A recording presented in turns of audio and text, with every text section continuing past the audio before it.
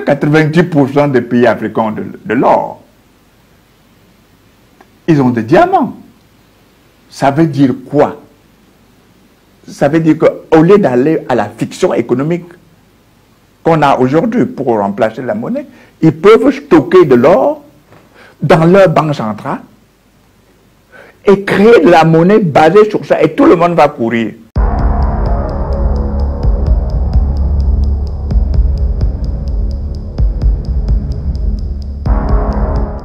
Les pays africains sont les pays les mieux placés pour avoir une monnaie reconnue sur le plan international.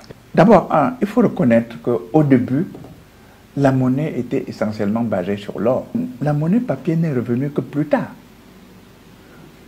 Et c'est parce que les économistes, les politiques ont décidé, c'était d'abord les Américains, aussi parce que De Gaulle leur a dit, si vous vous amusez, je vais vous demander de l'or en remplacement des dollars que j'ai dans mes caisses. Et le chef d'État américain a dit, ok, désormais, ce n'est plus posé sur le dollar, ça, doit, ça sera seulement le papier. Oh, qu'est-ce qui se passe? Presque 90% des pays africains ont de, de l'or. Ils ont des diamants. Ça veut dire quoi? Ça veut dire qu'au lieu d'aller à la fiction économique qu'on a aujourd'hui pour remplacer la monnaie, ils peuvent stocker de l'or dans leur banque centrale et créer de la monnaie basée sur ça et tout le monde va courir. Mieux, ils ont même des diamants. Pourquoi. Or, on leur dit, vendez-nous de l'or pour qu'on aille stocker dans les banques centrales des autres pays pour consolider leur monnaie. Pourquoi je vends de l'or alors que je peux le stocker et créer de papier Pour dire, si vous voulez, vous remplacez ce papier par l'or qui est dans mes...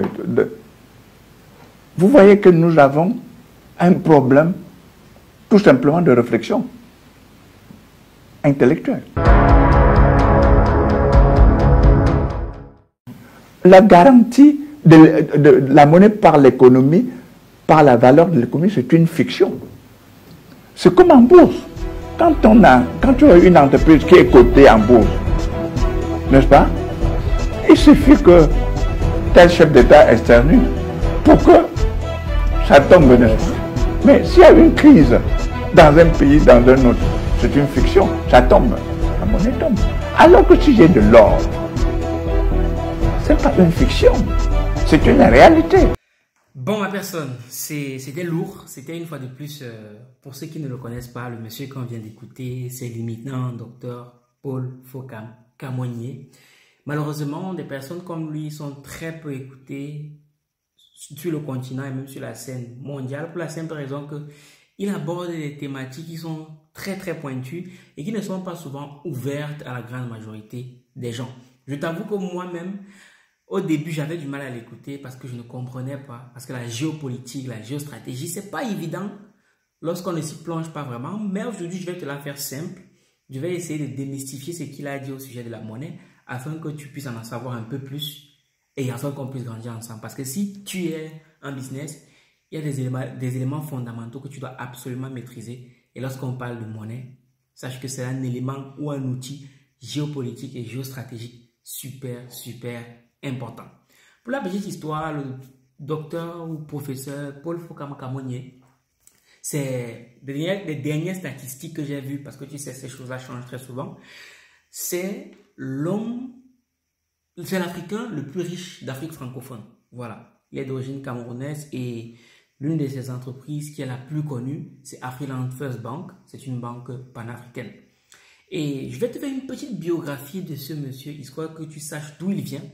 Alors, c'est un monsieur qui est d'origine camerounaise, qui par le passé a suivi ses études dans une école ici à Paris. Et après cette école, il a fait des études en économie, banque et tout le bazar là il a eu à travailler dans une grande banque de la place. Une fois dans cette banque-là, il s'est rendu compte que très souvent, lorsque des entrepreneurs africains venaient demander des crédits, quand c'était des crédits assez faibles, on leur octroyait ces crédits-là. Mais dès lors qu'ils demandaient des crédits beaucoup plus importants, à chaque fois, le prêt leur était refusé. Sous couvert du fait que, bon, ça c'était la raison officielle. La raison officielle, c'était que on estimait que les Africains, les, les entrepreneurs africains n'étaient pas assez outillés, n'étaient pas assez intelligents pour pouvoir gérer des budgets aussi importants. Donc, un jour dans ses recherches, il a découvert un document officieux qui disait clairement que la raison pour laquelle on ne doit surtout pas octroyer des crédits suffisamment importants aux entrepreneurs africains, c'est parce que si on leur octroyait des crédits un peu trop importants, eh ben, ils pourraient devenir tellement puissants à tel point qu'ils deviendraient des concurrents directs pour la métropole. Sous-entendu, les entrepreneurs européens. Voilà. Et donc, quand il a eu vent de ça, il a décidé de quitter cette banque pour retourner lui-même commencer à s'occuper des problèmes de sa communauté. Et parmi ces problèmes, il s'est dit, il faut qu'il crée une banque. C'est de là que naît Afriland First Bank. Je te la fais courte, mais de manière succincte, voilà l'origine de Afriland First Bank. Donc, aujourd'hui, il a porté sa casquette de banquier, sa casquette d'économiste, sa casquette d'entrepreneur pour expliquer un peu la fiction qu'il y a autour de la monnaie. Donc, premier point qu'il souligne, je vais te faire un truc, euh, une analyse en trois points comme d'habitude. Il dit que les pays africains sont les mieux placés pour avoir des monnaies qui pourraient être acceptées sur le plan international. J'avoue que lorsqu'on entend ça et qu'on n'a pas certaines bases en économie, ça sonne comme une dissonance cognitive en mode mais comment ça se fait nous soyons les mieux placés pour avoir une monnaie qui sera acceptée sur le plan international, mais que notre monnaie ne soit même pas détenue par nous-mêmes? En fait, il parle de fiction économique. Ce qu'il faut savoir, c'est que à l'origine, les êtres humains Lorsqu'ils voulaient faire des échanges, lorsqu'ils voulaient échanger des biens et des services, à la base on parle du troc. C'est-à-dire, moi j'ai une tomate, toi tu as peut-être euh, de la viande. Si moi je veux de la tomate, tu me donnes de la viande, on échange comme ça. Et après, à ce moment donné, on s'est rendu compte que ça paralysait les échanges. Juste le troc, les échanges devenaient de plus en plus importants et on s'est rendu compte que ça n'allait plus. Donc, il fallait trouver un nouveau moyen d'échanger les biens et les services. Donc, c'est là que vient euh, l'or. Voilà, on va, on faire de manière succincte parce que s'il faut parler de la genèse de l'argent, c'est une vidéo que j'ai fait déjà par le passé. Donc, moi, nous, on passe à l'or. Du coup, puisque l'or, c'est un métal qui est rare, donc ce qui est rare et précieux, ce qui se passe, c'est quoi? C'est que si jamais moi, je veux peut-être ta tomate, je vais chercher l'équivalent en or de ta tomate. Donc, quand j'ai l'équivalent en or de ta tomate, je te donne l'équivalent en or de ta tomate et toi, tu me donnes de la tomate. Mais très vite, on se rend compte que ben, les réserves d'or commencent à comment dire, à se réduire. Quoi. Et il faut trouver un nouveau moyen pour pouvoir permettre que les échanges puissent continuer. Donc, puisque c'est beaucoup plus simple d'avoir un bout de papier, plutôt que de dire ok, je veux par exemple acheter une maison, il faut que je transporte peut-être 10 kilos d'or. Donc, ce qu'on a décidé de faire, c'est de prendre, pour chaque paysan, on prenait ces kilos d'or-là. On partait stocker dans l'ancêtre des banques. Et lorsqu'on stockait cet or-là, ce qu'on nous rendait en échange, c'était un certificat qui attestait que tu as déposé l'équivalent de telle quantité d'or dans l'entrepôt d'or, s'il faut dire ça comme ça. Et donc, on est passé du certificat aux pièces de monnaie et aux billets de banque. Et ce qu'il faut savoir, c'est que les billets de banque, encore, qui veut dire, qui vient du monde de fiducia, qui veut qui signifie aussi monnaie fiduciaire, qui vient du mot fiducia, qui signifie la confiance.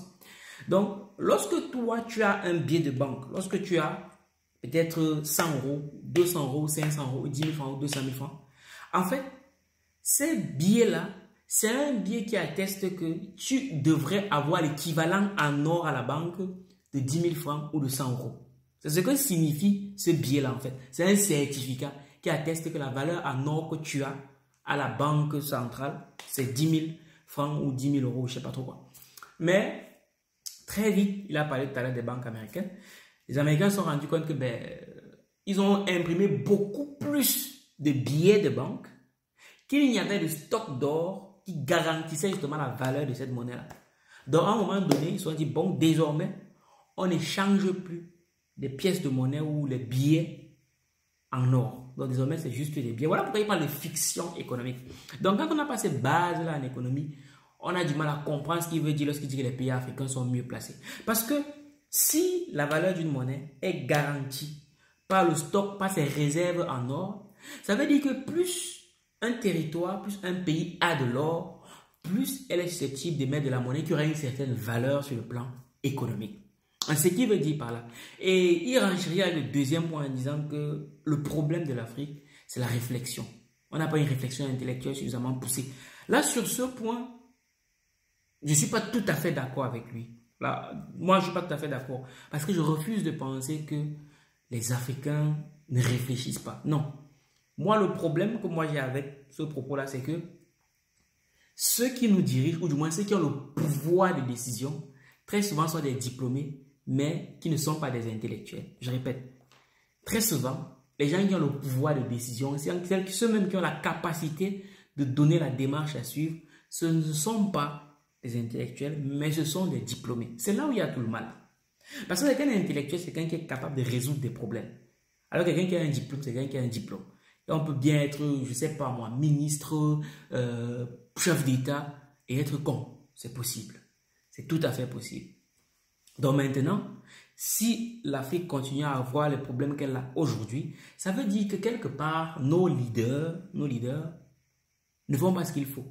Et à un moment donné, moi, je ne suis pas dans une démarche plaintive. Moi, je me dis, OK, les intellectuels qui peut-être aujourd'hui n'ont pas le pouvoir de décision doivent justement utiliser leur intelligence parce que quand on est intellectuel, lorsqu'on est intelligent, on crée, on résout des problèmes. Ils doivent utiliser leur intelligence pour bâtir des systèmes économiques suffisamment puissants qui pourront faire pression sur les pouvoirs politiques afin que ces pouvoirs politiques-là puissent commencer à servir nos propres intérêts. Lorsque je parle des intellectuels, je parle, m'adresse aussi à toi. Parce que toi aussi, tu peux commencer à étudier l'intelligence économique en lisant le livre du docteur Paul Fokam Kamoni disponible sur argentlivre.com.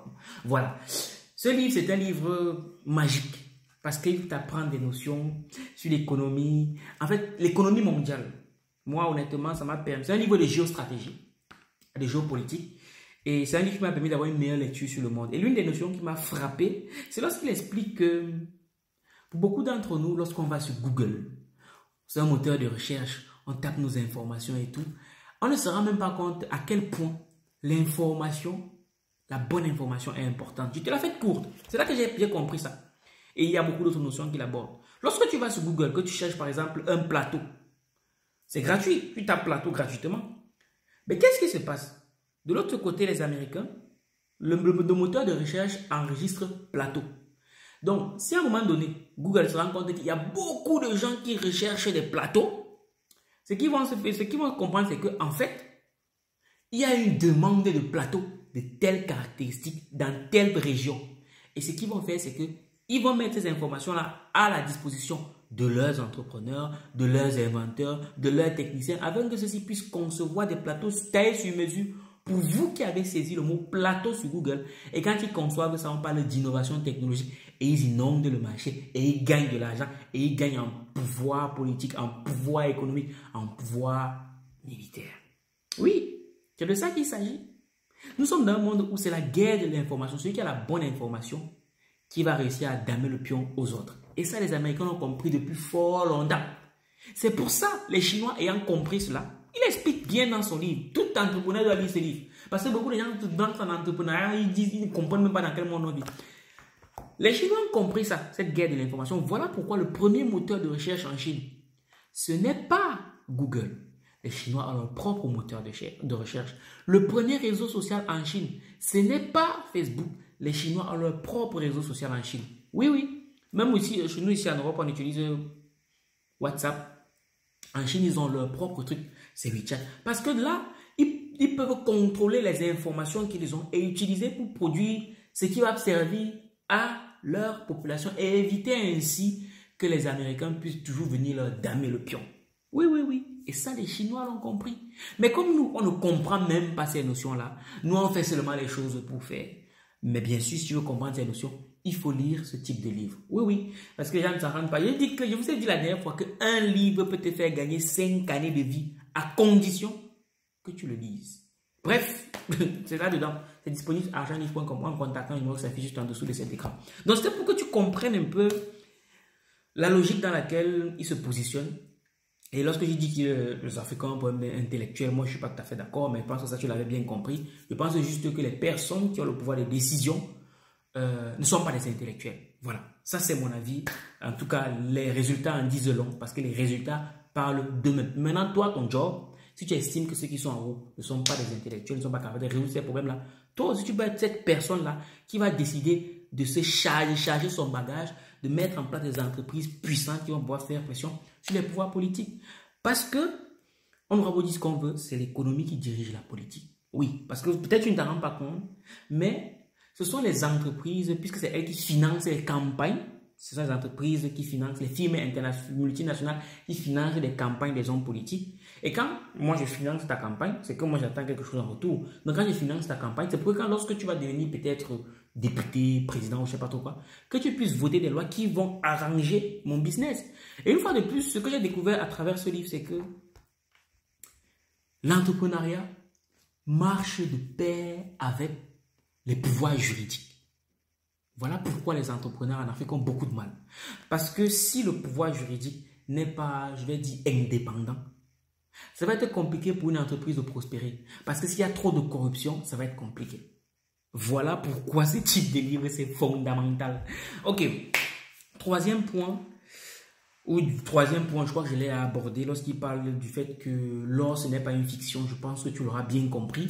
Donc voilà ma personne, je ne sais pas ce que tu as pensé de cette vidéo, mais en tout cas, c'est le type de vidéo qu'il faut regarder encore et encore. Si tu es entrepreneur, c'est le type de contenu que tu dois regarder encore et encore. Si tu es entrepreneur, c'est le type de monsieur que tu dois écouter encore et encore.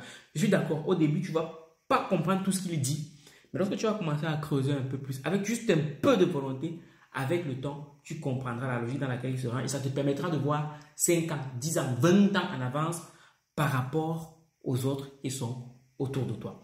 Parce que si tu es un business et que tu as une vision mondiale, tu dois comprendre comment est-ce que le monde dans lequel tu vis fonctionne. Et pour ça, il y a une notion fondamentale que tu dois absolument apprendre, c'est la géostratégie. Cette discipline-là qui te permet d'avoir une lecture du monde.